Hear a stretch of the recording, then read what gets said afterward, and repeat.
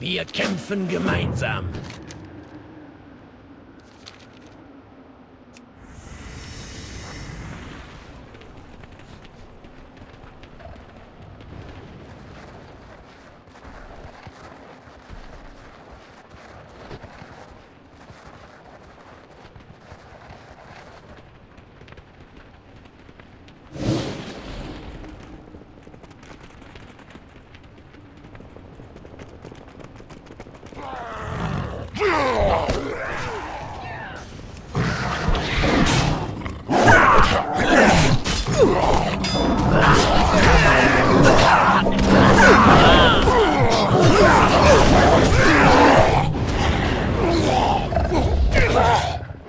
Yeah!